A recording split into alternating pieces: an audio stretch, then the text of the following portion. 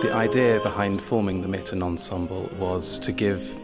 uh, the opportunity for four superb singers uh, and myself to perform and explore lesser known repertoire from the art song canon.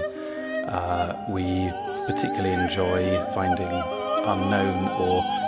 rarely performed ensembles uh, and placing these alongside more frequently heard art song.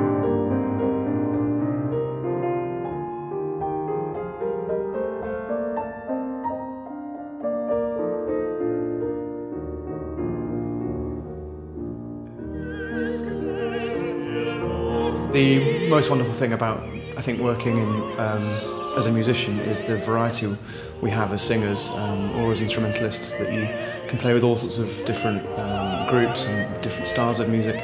And I think none more so with this um, song group, you know, group, group of people who love lieder, who love to sing in these sort of more intimate spaces and this much, these sort of beautiful little vignettes of, of, um, of music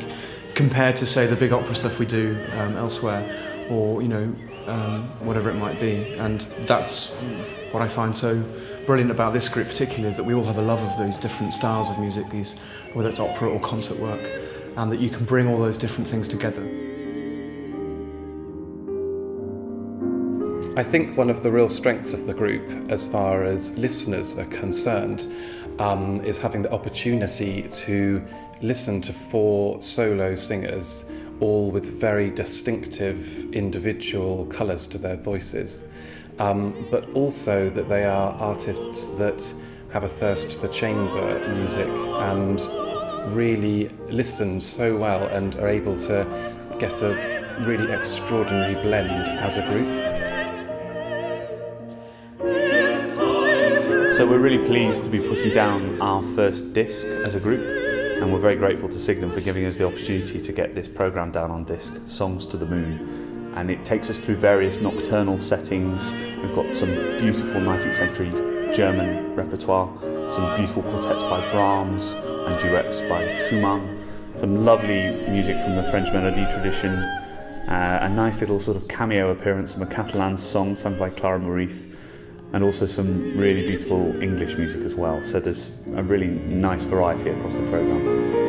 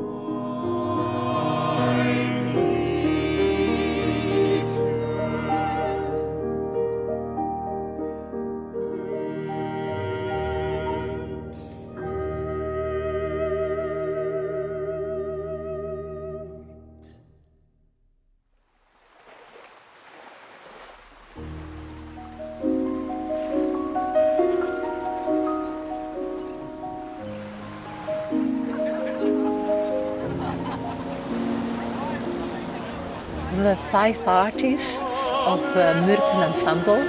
we have in common the Royal Academy of Music, where we all studied. It's really nice to come back to the music together because it feels a little bit like coming back home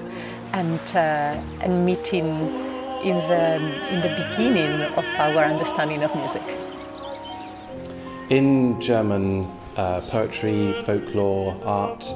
um, myrtles um, have come to symbolize uh, marriage. And what we wanted to do was to find a word that would uh, capture the marriage be between um, text, music, singer, pianist, and artist and listener.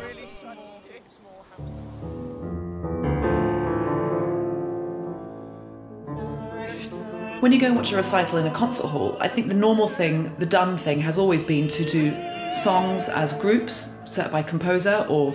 um, by in terms of when they were written, um, which is which is wonderful, and still there's a place for that definitely. But what the Myrthen Ensemble does that's different is we often perform songs as part of a theme or there's a narrative running through the program so that there's a clear story or idea behind it for the audience to, to latch onto.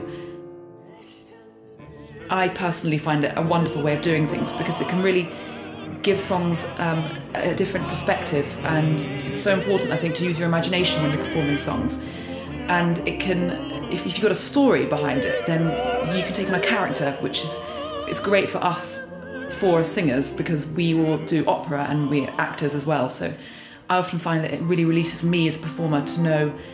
that maybe I'm coming at it from a different character perspective rather than just I've got a song with a poem.